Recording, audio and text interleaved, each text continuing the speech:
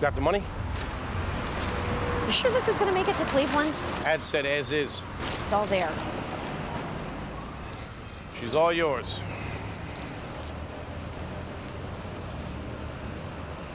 We got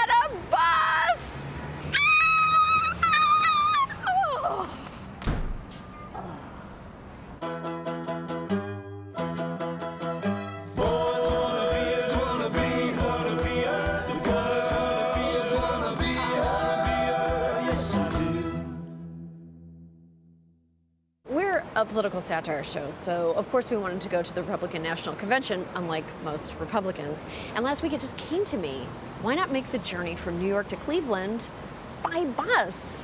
Everyone's got a bus, but hardly anyone has Herman Cain's bus. Plus, it'll be such a great team building exercise for the sharpest staff in late night. They are so psyched. What is that smell? Smells like cheese got chlamydia. Some say Trump is a great negotiator, but nobody could have gotten a better deal on this sweet ride. Who's ready for 500 miles of fun? Oh, they're already on the bus. Okay, it's gonna be amazing. Duck, duck, duck, duck it, duck it! Woohoo, Cleveland! Here we come! Okay, road trip. Who brought all these blazers? I think these are all Sam's. Where's my bag? Oh, I think it's under these blazers. Nope, just more blazers. 99 bottles of beer on the wall, 99 bottles of beer. Don't be shy. Take one down, pass them around. 98 Everybody sits while the bus is in motion. Where do I know that guy from? He must drive my casino shuttle. I thought I knew everything about elections, but 2016, we're in uncharted territory. I'm like Lewis and oh. Clark, but on an interstate. I don't know what those guys were complaining about. Travel is awesome. Are you having fun, Ashley? No. Me too. Some call Pennsylvania flyover country, but you can't talk to voters from an airplane. And what better place to do it than the oldest gas station in America? It's in Altoona. Uh, oh, Reighard's gas station in Altoona. A lot of people think that Pennsylvanians are just, you know, snobby Republicans, but we're not. We have two different sides to us. I mean, a lot of us want to see Hillary in office. You are a battleground state for the first time since Gettysburg. You're the belle of the ball. Let me spin you. Let me twirl you. La da da dee da da. I'm a trumpet.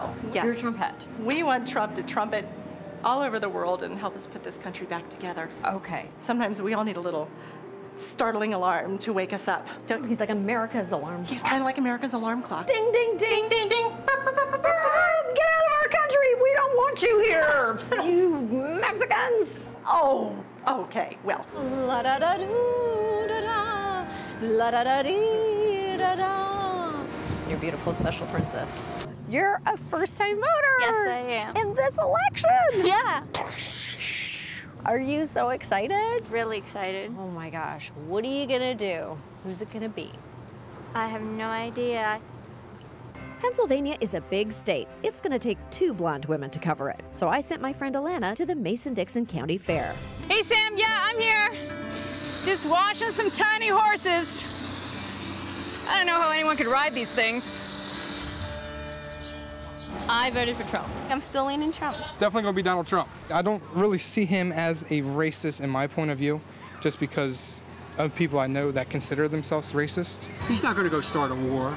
I mean, it, it, well, yeah, but he'll be a little. Maybe a civil war. Do you know anyone of color?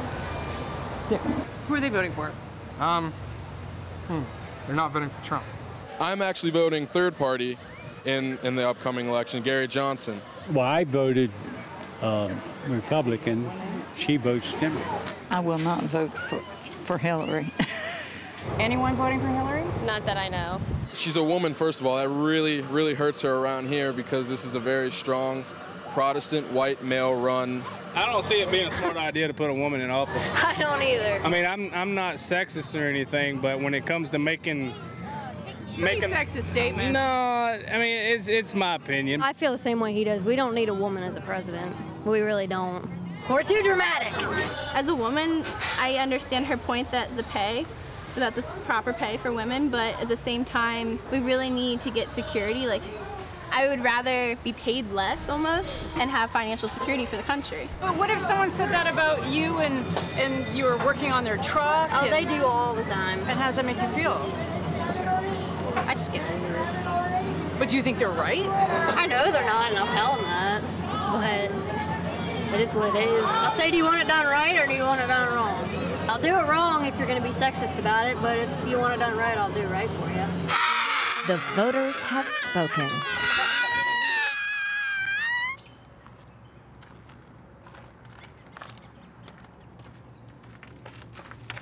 Hey guys, what's going on? What are you doing to my blazer collection? Cleaning them?